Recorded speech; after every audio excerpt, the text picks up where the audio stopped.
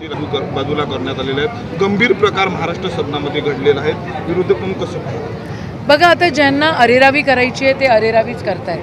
त्यांना पुरोगामी विचारांना मारून टाकायचं आहे तर ते पुरोगामी विचारांना पूर्ण मारायची पूर्ण तयारी करतायत. फक्तच महाराष्ट्र सदनामध्ये काय?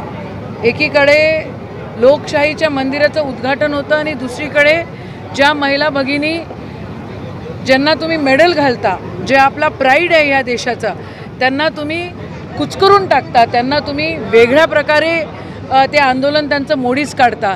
एकीकडे तुम्ही एका व्यक्तीचा तिथं मान सन्मान करतात आणि खऱ्या अर्थानं आई सावित्रीनी आई अहिल्यानी ज्यांनी ज्यांनी आपल्याला ताकद दिलेली आहे त्यांचे पुतळे तुम्ही बाजूला सारता तर याचा निषेधच आहे. ते लोकसभा निवडणूक तोंडावर आलेली आहेत दावे प्रतिदावे सुरू झालेले आहेत.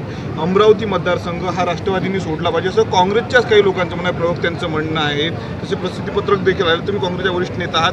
कसं पाहता वाटतंय का काँग्रेसला सोडलं? तुम्ही बघा तुम्ही जर अमरावती पूर्ण जिल्ह्याचा जर तुम्ही आढावा घेतला तर त्या ठिकाणी तुम्हाला दिसेल की इथे काँग्रेसचं प्रभुत्व आहे.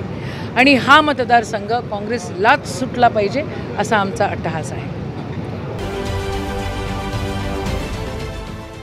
देश विदेशातील प्रत्येक घडामोडींचे लाईव्ह अपडेट मिळवण्यासाठी आता साम टीव्हीच्या सर्व सोशल मीडिया प्लॅटफॉर्मला लाईक फॉलो आणि सबस्क्राईब करा. तसंच सर्व नोटिफिकेशनसाठी बेल आयकॉन प्रेस करायला विसरू नका.